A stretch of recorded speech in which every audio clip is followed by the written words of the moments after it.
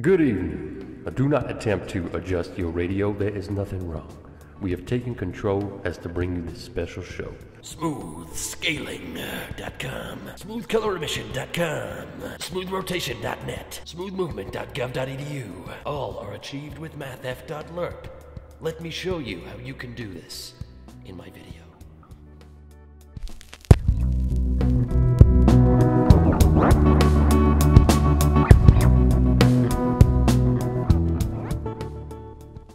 I'm going to structure this video into three segments. First, I'm going to explain as simply and as quickly as possible what mathf.lerp actually does.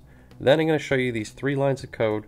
You can take them or leave them and be on your way. But if you actually want to stick around and learn the sort of math behind it, the mechanism, then you'll be able to apply it to a lot of problems. Here's what mathf.lerp actually does.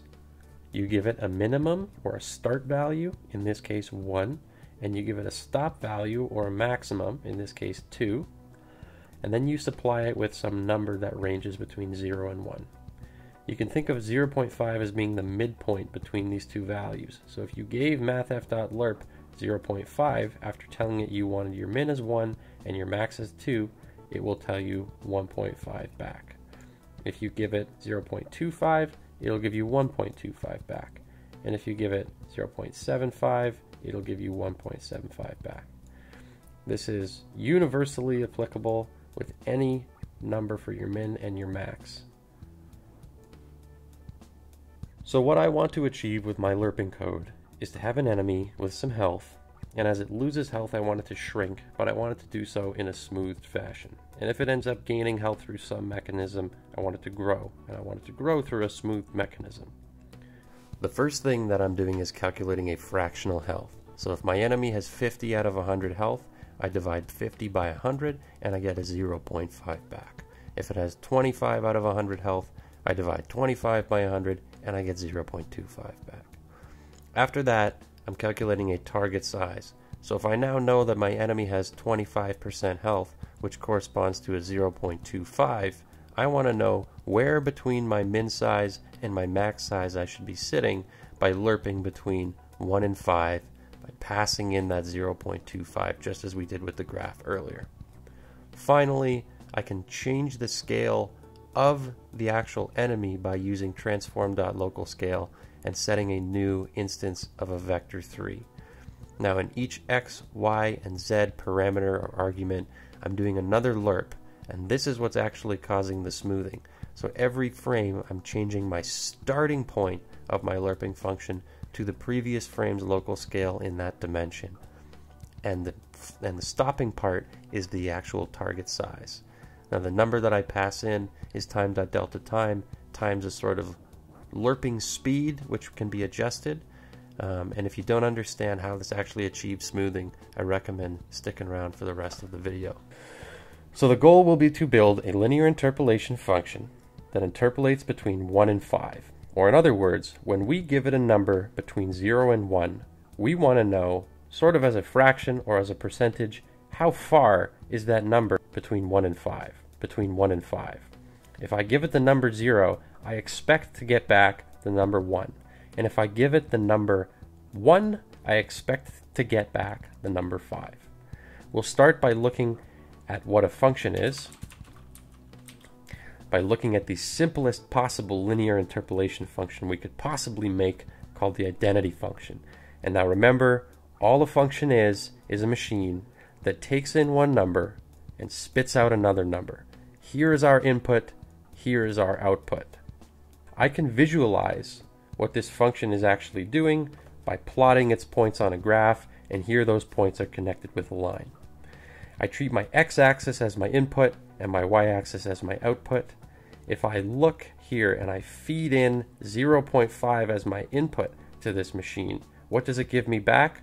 Well, I trace up to the line, I trace over, and I get a 0.5 back. If I feed in a 1, I look up to the line, and it gives me a 1 back. Now we can see this mathematically in our function because it's not actually doing anything to the number x. When we feed it x, it gives us x back. Now if we want to access numbers outside of this range, we can simply multiply x by some number that we're interested in. And we know that 5 will be our maximum. So how about we multiply by 5 and I will quickly change the axis on this graph to limit to only see between 0 and 1 on the x-axis. And so as you can see here now, I've created a linear interpolation function that when I feed it 0, I get back 0. But when I feed it 1, I get back 5. And when I feed it 0.5, I get back 2.5. Problem here is we are now restricted to our minimum being 0. So if we think back to high school math class, we know that we can shift functions around by adding constants to them. So if I take this and I know I want my minimum to be 1, I can add 1 and it will add 1 to all of the points on the line, shifting it upwards. Now our function, when fed 0, gives us 1, but when fed 1, gives us 6. So that's a problem. We realize that what we need to multiply by is not 5, but the range of our minimum and our maximum, which we can achieve by taking our maximum and subtracting our minimum. Now if we feed in the number 0.5, for example, we're asking the linear interpolation function what number is halfway between 1 and 5, and that number is 3. Or what number is at the end of the range 1 and 5, and that number is 5. And so what Unity is actually doing is it's just taking these spots and changing them to variables. I'm going to call this max and min. We'll create a slider for these all Unity is doing is saying what's your max value, what's your min value. I will create a different linear interpolation function for each of your circumstances. And you can change the minimum and you can change the maximum as you will. And at any time, you can feed in some number between 0 and 1, and I will tell you how far between your min and your max you're, you're sitting at.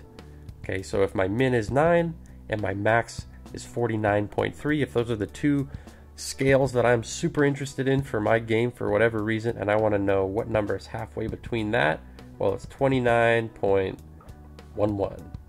If I want to say what number is 70% of the way between those two numbers, it's 37.17. If for some reason I need my min to be 0.8 and I want to know what's halfway in between, 25.099. And that is how simple mathf lerp function is. So if we look at the documentation here, we have our start value, our end value, and the interpolation value between the two floats. So how does Unity actually achieve smoothing with the lerp function? It seems from the shape of the function that things should change linearly, and that they shouldn't ease in or ease out or accelerate in and decelerate out. But the trick is to every frame recalculate a linear interpolation function using a new minimum okay, and use a constant for your interpolated value. So for example, here we are linearly interpolating between 0 and 5. Let's say we have a cube of scale 0, meaning it's essentially invisible, and we want to quickly grow it up to 5, but we want the animation to look smooth.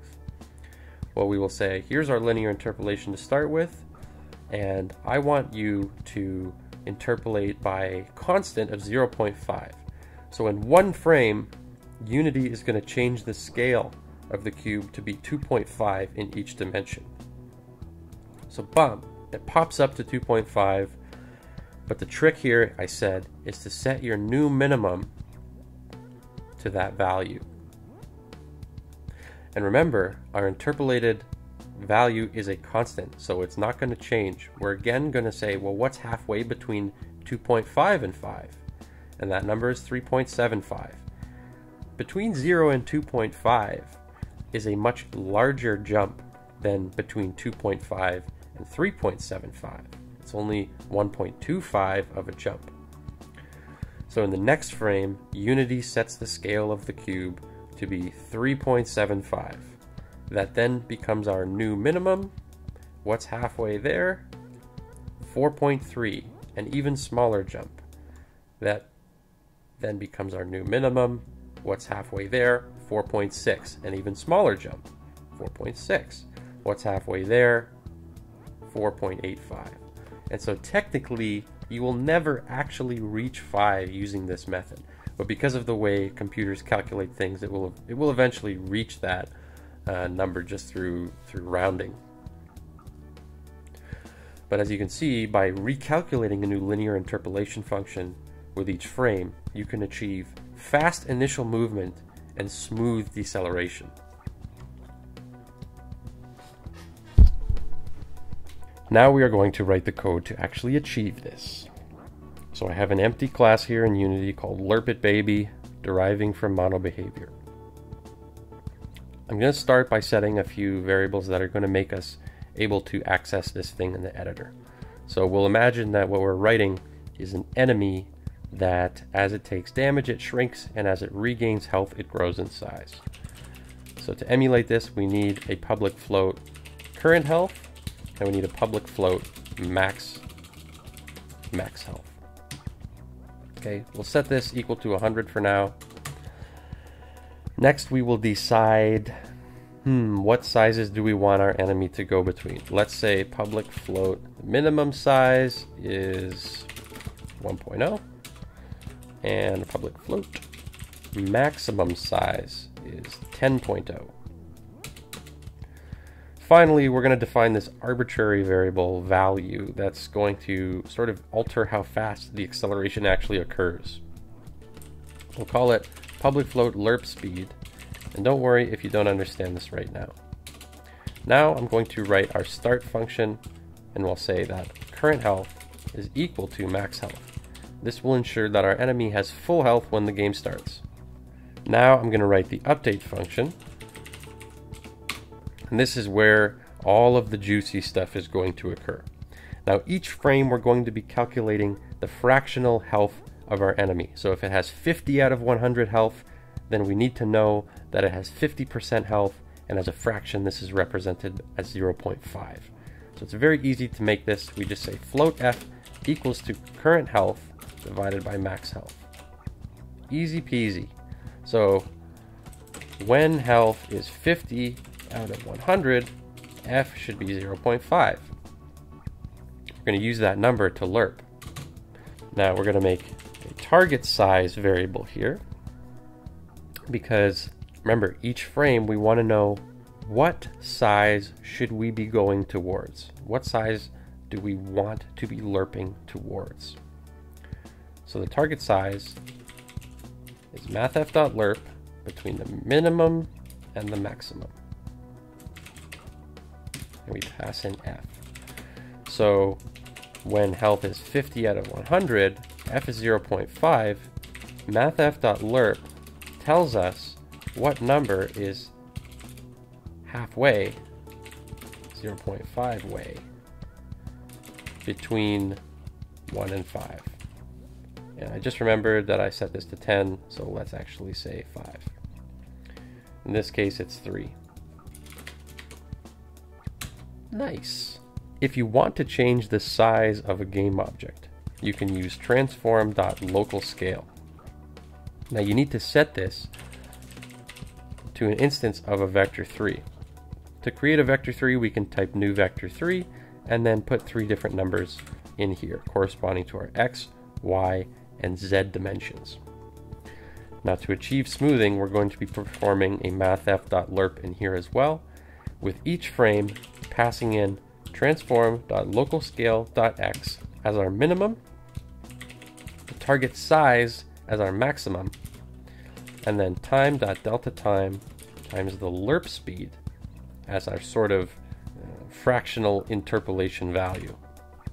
Now, delta time here sort of serves two purposes. It's a very small number, so that when you have big differences between your min and your max, it's going to jump, but it's not going to jump by that much. And so it also will sort of scale with the frame rate of the application, making smoothing look smooth or changes look smooth. Lerp speed is that variable I defined above. I'm going to set it to 2 here. Um, multiplying this number by time dot delta time just increases how far along in our linear interpolation that we're going to be jumping. Now I'm going to copy this twice